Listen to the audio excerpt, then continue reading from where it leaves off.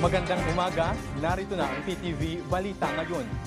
Isa pong malungkot na balita, pumanaw na ang OPM icon na si April Boy Regino. Ito ang kinumpirma ng kanyang kapatid na si Bingo Regino kaninang umaga. Sa Facebook post ni Bingo, sinabi niyang isa itong malungkot na araw para sa kanya.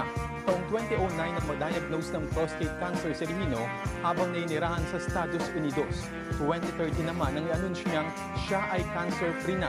Pero taong 2015 nang sabihin niyang siya naman ay iniindang diabetic retinopathy habang noong taong 2016 ay inamin niya na bulag na ang isa niyang mata.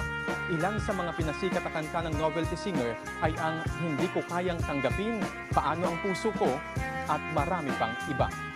Gamit po ang wikang Tagalog, ipinaalala ni Tokyo Governor Koike Yuriko sa mga Pilipino sa Japan ang mga dapat gawin para makaiwas sa COVID-19.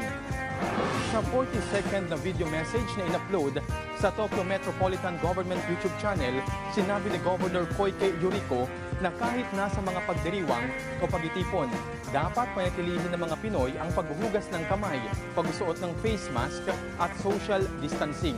Sumunod aniya sa slogan na iwasang mahawa, huwag manghawa. Natuwa naman ng mga Pinoy netizen na nakapanood ng mensahe at pinuri ang pagkasalita ng Tagalog ng Tokyo official. Gayun din ang concern nito sa mga Pinoy roon. Ang Japan ay nasa ilalim ng maximum alert dahil sa coronavirus infection. Kahit tayo ay nasa mga pagtitipon at pagtiriwan, lagi pa rin nating isagawa. Ang paghuhugas ng kamay, pagsusuot ng mask, pagsunod sa social distancing, at pag-iwas sa 3Cs. Magturuan po tayo na maprotektahan ang ating mga mahal sa buhay. Ayon sa slogan na iwasan mahawa at huwag manghawa.